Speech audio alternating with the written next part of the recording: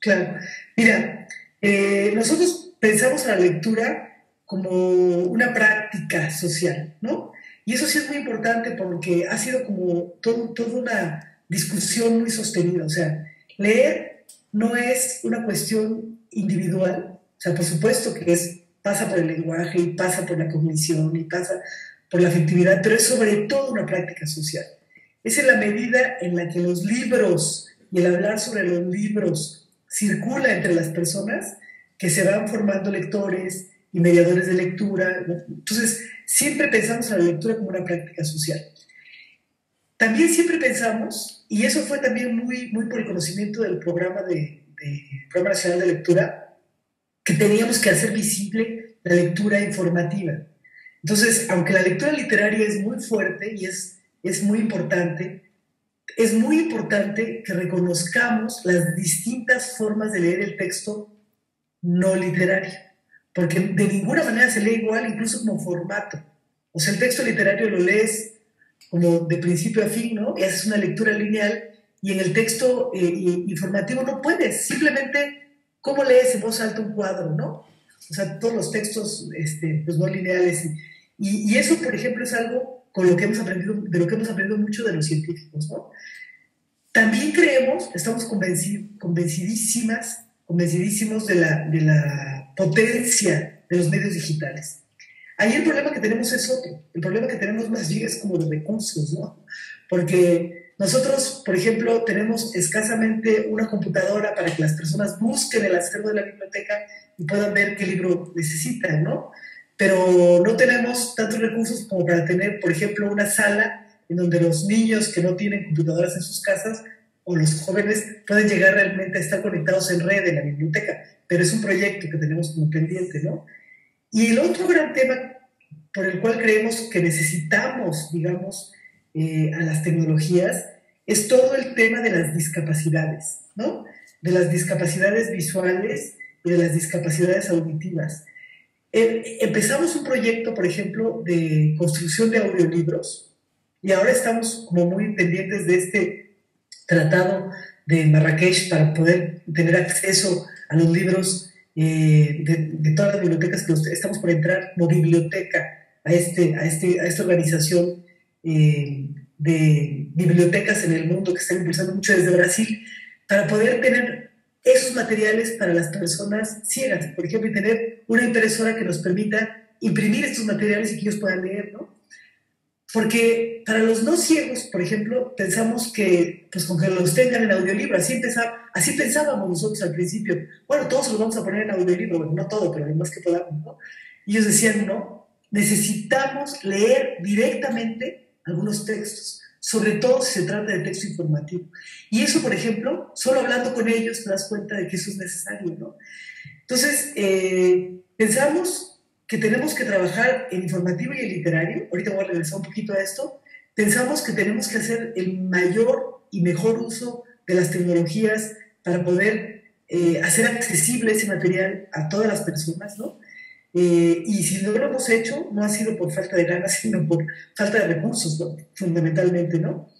Eh, y en el caso del, texto literario, del texto informativo, es que si a nosotros nos interesa la lectura, si en el centro está la lectura y esta lectura la concebimos como una práctica social y en esta práctica social están los lectores en grupo social, hemos podido constatar, no, no sé si voy a ser muy exagerada en mi, en mi porcentaje, pero como que al 50 y al 50% le interesa la literatura y el otro 50% no lee porque no encuentra libros que no sean literarios. Entonces, cuando los niños llegan a la, biblioteca y, y, tú ves fascinación por el libro no literario, eh, todos estos discursos sobre la literatura pueden ser perfectamente aplicables, pero la lectura de texto informativo, porque se sorprenden, se apasionan, este, te preguntan más cosas, van a otros libros, todo lo que queremos que los lectores hagan, ¿no? Entonces, eh, tenemos que mantener, digamos, este foco, porque los mismos lectores nos han permitido ver que ellos te dicen, eso a mí no me interesa, a mí eso no me lo des, yo no quiero eso, que es literatura, ¿no?